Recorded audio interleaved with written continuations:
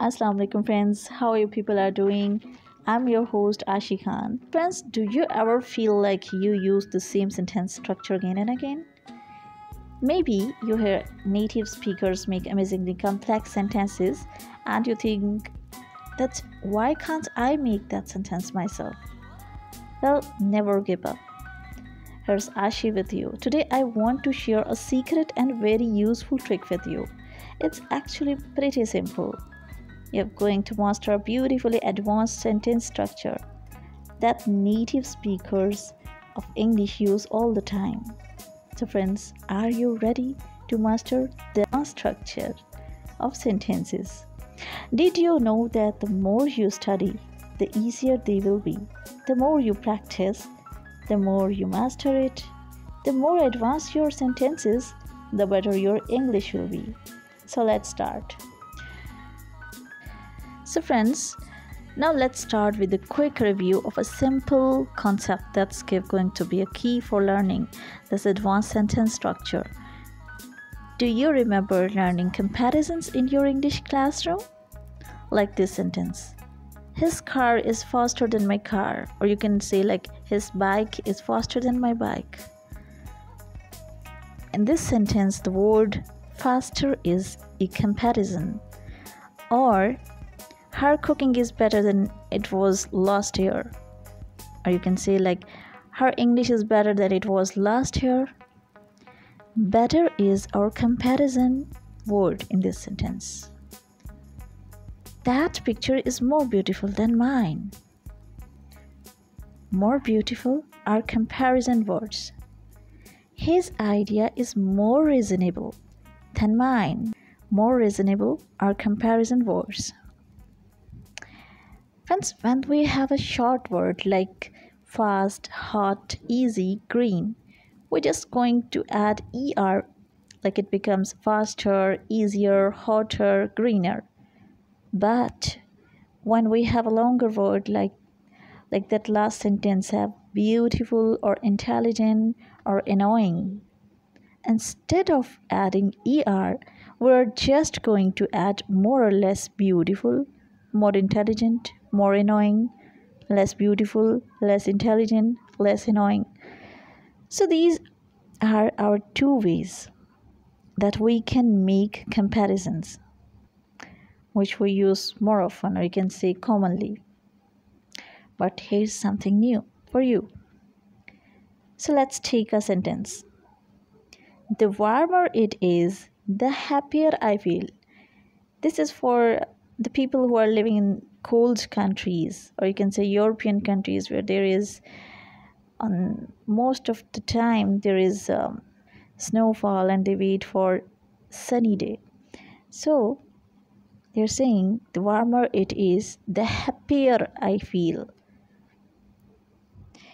Here we are comparing two things, but let's take a look at actually what's happening here. We have those two comparison words, but what's happening right before that? Let's repeat the sentence. You'll notice it. The warmer it is, the happier I feel.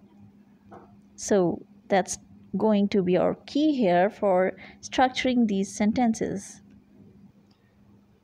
at the beginning we have some kind of cause the cause is warm weather and what's the effect the fact is i feel happy or someone who is saying this sentence feel happy. Let's take some more examples. The heavier the weight the more difficult to pull it. You can say the more difficult to move it. The longer the route the more enjoyable it is. The sweeter the dessert, the more delicious it is. So, in these sentences, you have noticed that we have a cause and effect. Say, like, the richer the person, the more annoying he is. So, here we have a cause, someone is rich, and an effect, he is more annoying. The tougher the stage, the more exciting game. Here, here the cause of excitement is the, the stage is tougher. wonderful advanced comparison. The more you eat, the more you gain weight. so, exactly, it is the more you eat, the more you gain weight. The more is comparison word. So, we are not actually using a word like the warmer or more beautiful or the more annoying. The less I sleep, the less I can focus on my work. The, the more I learn English, the more I feel comfortable. Or you may say, like, the more I learn English, the more easily I will I communicate. So it's it's it's uh, on you that you will put any optional words. These choices are yours. Or you can say, I feel more comfortable there's a couple of different ways.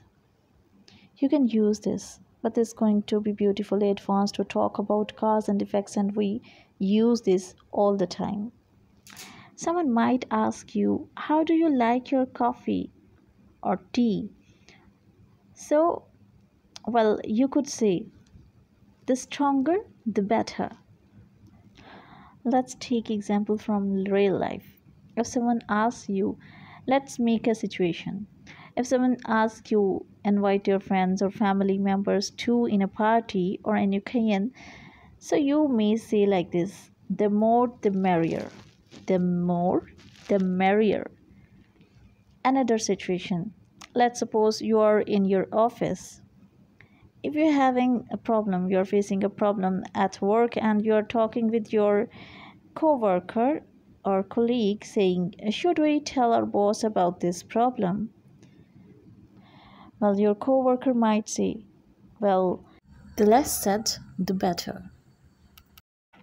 The less said, the better means he don't want to inform the boss. So it means the less said or our boss, the better the outcome, or maybe the better for your boss. Next situation. Let's suppose you're motivating your friend or younger one to study.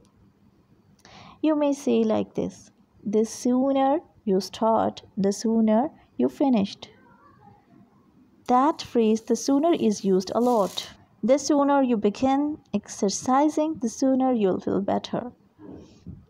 So, friends, what you have noticed we have a cause and an effect happening here with this wonderful advanced comparison. You probably already know how to make comparison words, but if we make this advanced concept more advanced, often when we use the the sentences structure like we have been talking about, we have been talking about, we don't use that comparison word.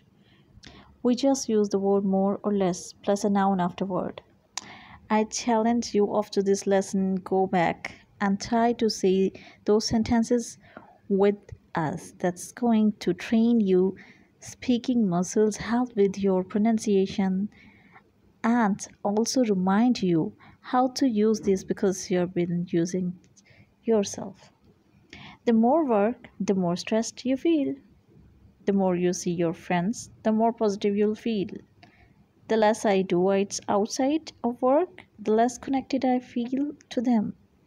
The more I tell you about my work life, the more I realize I need balance. The more time with family, the more happier you feel. The more money you make, the more you can spend. That was a lot of the comparison sentences, right? I hope that this helps you to feel more comfortable with it because you know that the more you study, the easier it will be. So make sure that you review this lesson because the sooner you review, the sooner you will be able to use it yourself. There is so many ways that we can use this advanced the the sentence structure and you will be one of the first English learner to use this naturally so please do it. Go out into the world, start conversation. So friends, I guess the more you like this video, the more you share it. So never ever forget to share to like and to subscribe my channel and do not forget to give your feedback and comment section here's a task for you or you can say a homework for you so friends you have to write at least one sentence in the comment section, a comparison sentence with the the structure. I hope you're well aware now with the the structure of comparison. With this, wanna leave. Meet you soon in any other video, any other sharing, any other topic.